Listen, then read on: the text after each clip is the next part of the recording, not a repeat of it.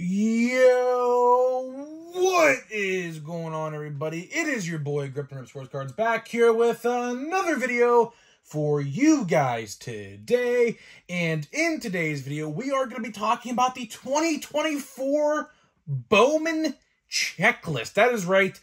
The checklist is out for 2024 Bowman. And honestly, it's pretty interesting. There's some positives and there are some negatives. So we're going to talk all about that in this video because honestly, I'm not too impressed.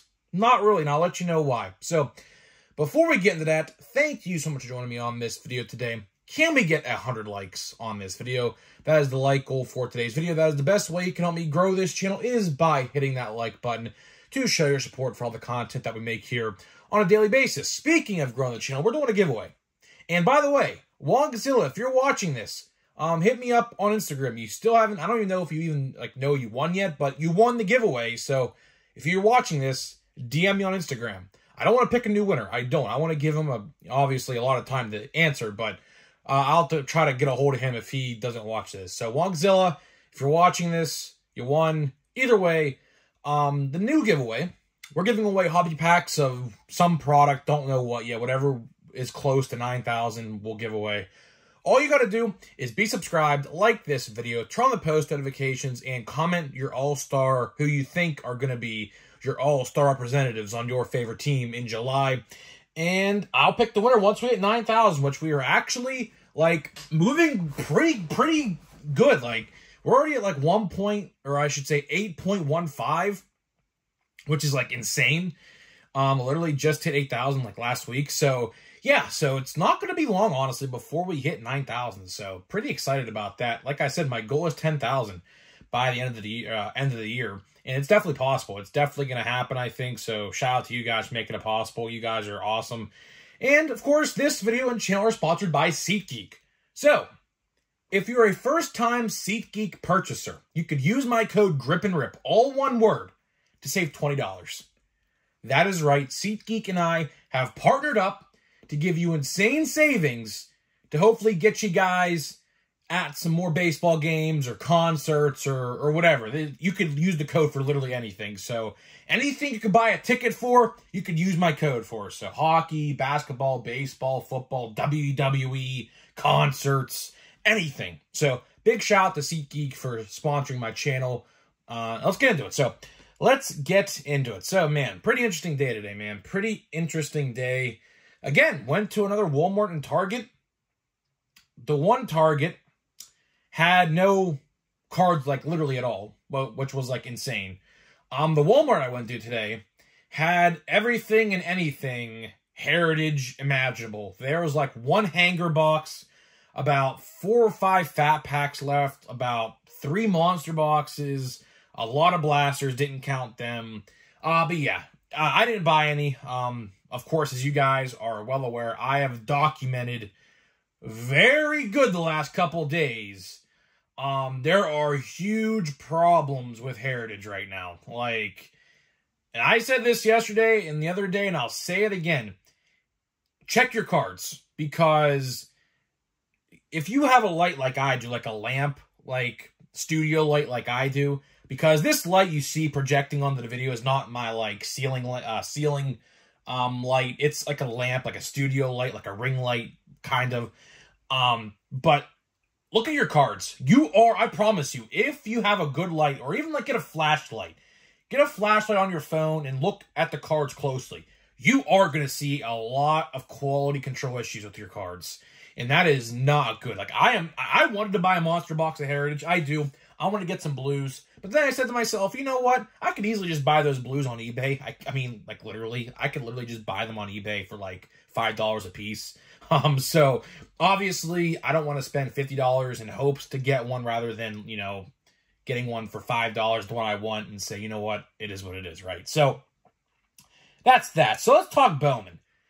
Hopefully, I will start out by saying this. Hopefully, this year's Bowman isn't ruined by quality control. I mean, we're seeing terrible quality control for Heritage. Just imagine what it's going to be like with Bowman. Bowman comes out May the 8th, not too far from now.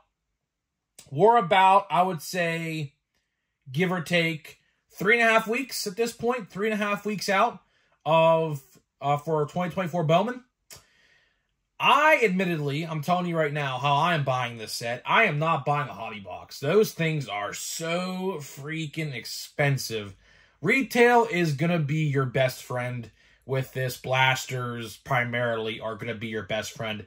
Um, fat packs, if the security tag myth is again true, well, we will figure that out. I'll put that to the test um, so you guys don't have to. Of course, the big security tag myth of Bowman, of course, people claim if there's a security tag in the fat pack that there's something good in there. So, uh, I mean, it is true. I mean, it's worked in the past. Now, there's sometimes it doesn't work. There's sometimes it does. So, it's really hit or miss. But um, either way, let's talk the checklist, right? And like I said in the open, man, I am very, very disappointed, kinda, with this checklist. Now, admittedly, I will admit to you right now, I am doing my research on the prospects because obviously, a lot of those guys I don't know. Now, Walker Jenkins and Dylan Crews are obviously the number one and number two you're going to want to get. Um, as for, you know, three through 10, because of course we do our top 10s, that is what I'm working on right now. I am already looking into my top 10 list because it's going to take a long time to do my research on these guys. So, from that point, in that perspective, I have been seeing a lot of people saying that the checklist like is like decent. It's just about the same as last year. People were saying it was. I saw on Twitter and Facebook. Um, so take that with what you will. Again, you know, people could just be saying that to say that. I'm gonna like actually research it and things like that. But let's talk about the rookie checklist because, you know, Bowman is not just prospects. Now, of course, prospects are the primary focus of Bowman, but there's also a veteran checklist, which is called the base checklist in, in Bowman. And in that checklist is where all your rookie cards are going to be found, right? And by the way, speaking of rookie cards, when I do my top 10, do you want me to do a rookie card edition? Because I will. I mean, I don't typically like to do that for Bowman, but in the comment section, leave it down below. Do you want me to do a prospect edition? Of course, comes out first, obviously. That'll come out on that Wednesday. And then the Thursday, the day after, we could do a rookie edition. How about that? So let me know in the comments. I'll, I might think about doing that. It's a good idea. I might do it. But either way, the rookie checklist. Mm, man, not impressed. Not impressed at all with the rookie card checklist. Why do I say that?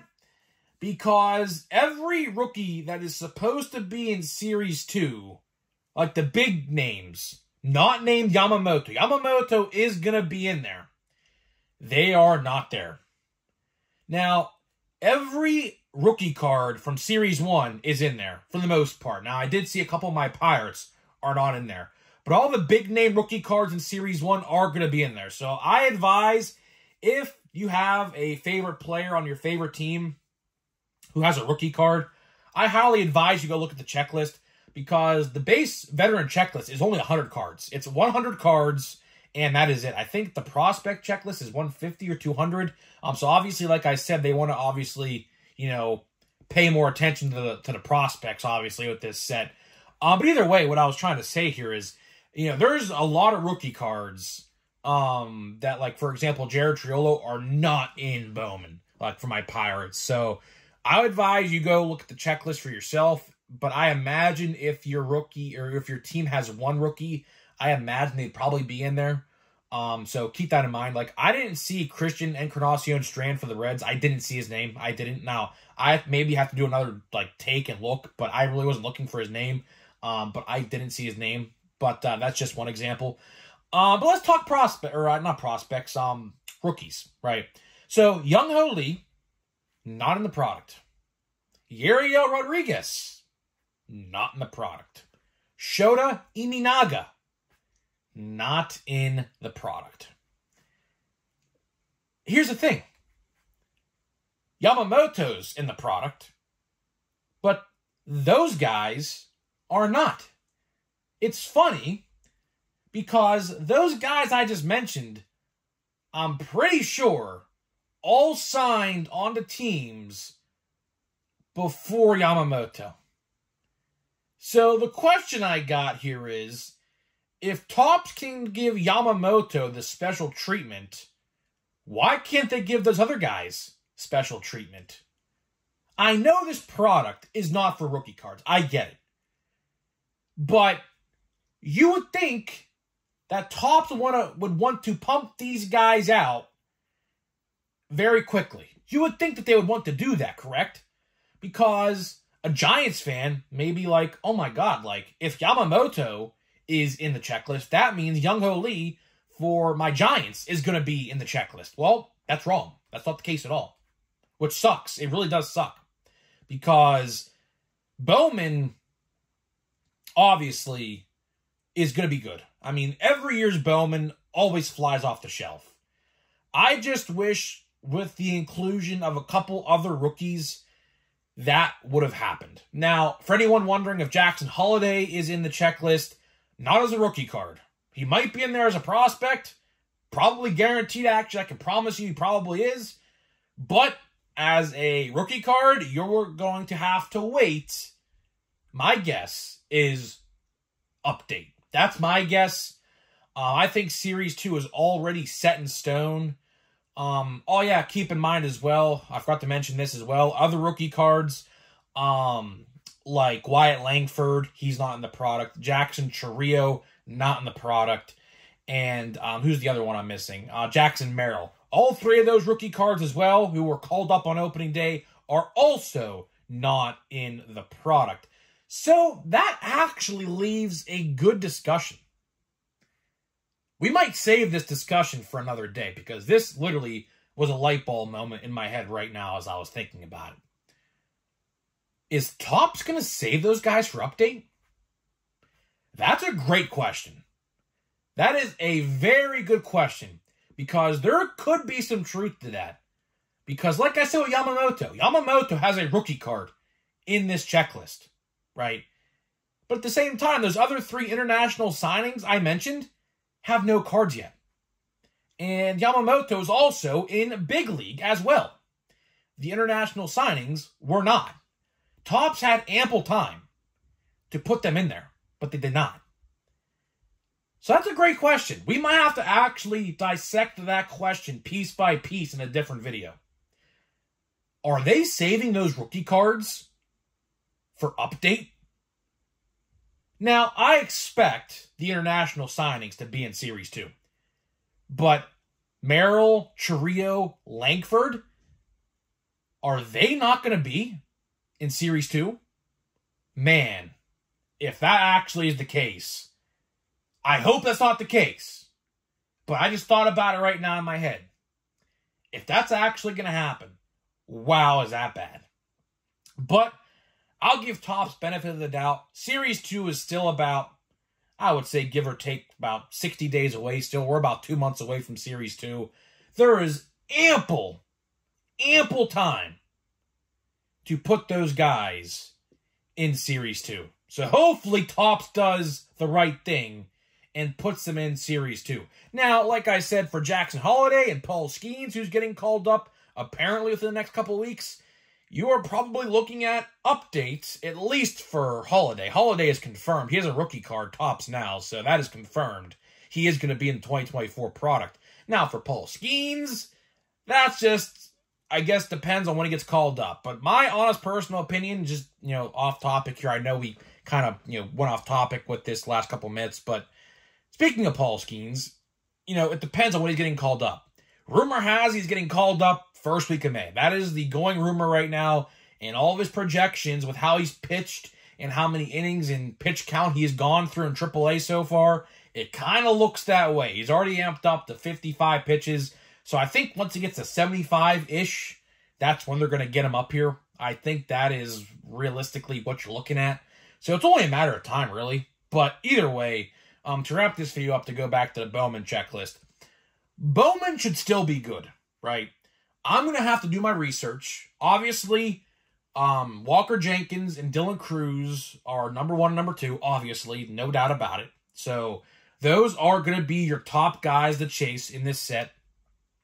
Now, as for anybody else, I have to do my research on, so that way I understand who I'm talking about when the time comes to make my top 10 most valuable video. So that way people are informed as well, and that way, you know, you get the information that you need. But by the way, if you guys know who is going to be quote unquote good, help me out in the comments. I would love to hear you guys help me out with this because, you know, this really takes a community to make th these lists for the for the prospects at least. I ain't no prospect guru, believe me. Now I know the top guys, but after you get down to like, you know, 3 through 10, that's where it gets difficult. But either way, I have a long time to figure that out, so I have about 3 3 or so weeks. Either way, I'm getting out of here. But before I do leave, of course, we are going to open a pack of... We're going to open a pack of uh, Heritage. And yes, we are going to check card by card for damage control. this is like one of my favorite things to do now. Admittedly. So let's see. All right, here we go. We have a whole bunch of cards. We have one backwards. Is there is it a parallel? It must be something. I don't know. It must be something. We'll see. So, Ryan Mountcastle. Let's see. Splittage right here. Dent right here. Indent right here. All right, first card's damaged. Oh, wait, and another dot indent right here on the top corner. All right, there's one card damaged. There you go, Topps. Good going. Let's see. Nico Hoerner. Splittage right here again. What is with the splittage? Seriously, what is with the splittage of these cards? Now, I don't see any indents. Oh, never mind. Take that back. There's one right there. Unbelievable. There, you kind of see it with my light. It's right there. Unbelievable. Like, actually. Crying Paris. I think I, I probably butchered his name. Oh, big print line right here. Oh, dent right here. Look, see that where my see that light? See where it uh, reflects off the light right there? There's a dent right there. Unbelievable. There is a print line. Maybe my camera could pick it up. You see that where, right where the light is? You see that little line? It goes from there to there. Unbelievable. Oh, oh, whoa, whoa, look at this. Look at this. Another indent. Look at that. No, my camera can see. That's a big one. My camera picks that one up. Look at that. Unbelievable. Unbelievable. It's like an X. You can see it right here. It's like an X. Unbelievable. I mean, oh my God. Endy Rodriguez. All right, please not, please not be damaged. Please do not, please don't be damaged. Let's see. Oh my goodness, this one might be the worst one yet. There are two lines, actually three. Again, an X right here, and then it's right here. Oh, and then and then splittage right here. Oh my god, bro. Topps. This is this is bad. I mean, we're three for three or four for four. I don't know. Every single card we've pulled had damage to it so far. Junior Caminero. One of the top guys in my checklist. I think number two, actually, as a matter of fact. This one, um, honestly, this one looks good. This one, I off first glance, looks good. I might be missing something, but I'm not going to really, you know, Slade. I don't know how to pronounce his last name, so I'm not even going to try. Let's see. Indent right here. Holy man. Huh. I saw an indent right off the rip. Right right there. Big dot. I don't know if my camera will pick that one up or not. It's a small one, but it's there. Oh, man. Oh, man. Oh, man. Another dent right there backwards card of David Bednar. Huh. Okay. I don't know why it's backwards, but it's a pirate. Oh, it might be a short print. I think cards 1 through 100 are short prints. So, yeah, that might be a short print right there, actually. All right, let's see David Bednar. This one looks okay, surprisingly. Oh, nope, take that back. Dot right there right in the corner there. Dot right there. Unbelievable. Cool, but unbelievable. And we have a cool card right here. Look at this. 2016 Most Valuable Player from 2016 Topps. So it looks like they put, I guess, pictures of 2016 Topps on, like, or I guess, cards. I, I, I actually pulled, spoiler alert for my channel members, I pulled three different cards like this with different, like, years of Topps on it. So I guess they're doing that, but let's see here. Let's inspect the card. Um... This one looks decent. I, I think looks okay. So we'll put that to the side as well. So, huh, as you guys can clearly tell, clearly, we have had multiple damaged cards in multiple packs. When will it end? That's the question. When will this end? I do not know. I could not tell you.